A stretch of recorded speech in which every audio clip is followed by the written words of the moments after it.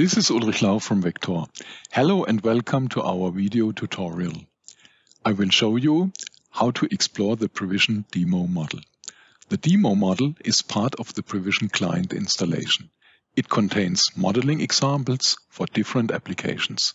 For example, AUTOSAR, communication and diagnostics, hardware and network architecture or wiring harness. In addition, it provides configuration examples such as for editors, rules and metrics. To open the demo model, start the PREEvision client application. On the login screen, select Demo EEA and start loading the project. When the model is loaded, the cockpit start perspective opens.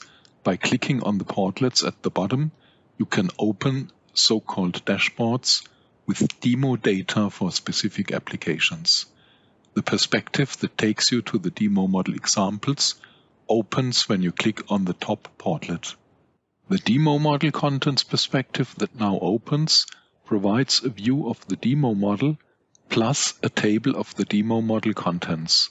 The table provides the following columns. The first column contains a table of the demo model examples that can be expanded. The texts in the second column briefly describe the demo model examples. In the third column, you find links to example artifacts in the demo model. A click on one of these links navigates you to the artifact in the model view. You can access additional information related to the examples through the links in the fourth column. Click on any of the links to open the corresponding entry in the online help view. To explore the demo model example, click on the Demo Model Expert portlet of the Demo Model Contents perspective. The Demo Model Expert perspective, which then opens, includes the views that you typically use when modeling in PREEvision, such as the property, information, or the search view.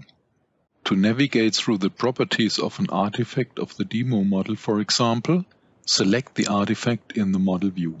For instance, let us select in the model view the vehicle speed as an example of an application value type.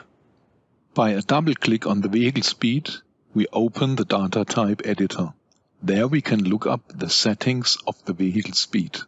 In order to have a good overview of the settings, we enlarge the window. In the data type editor, we can then easily look up application value type settings, such as the unit or the conversion between implemented and physical values.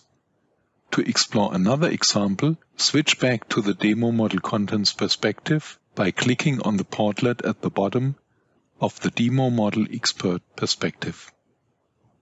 We've now come to the end of our video tutorial.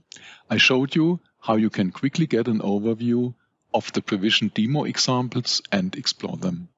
Thank you for watching.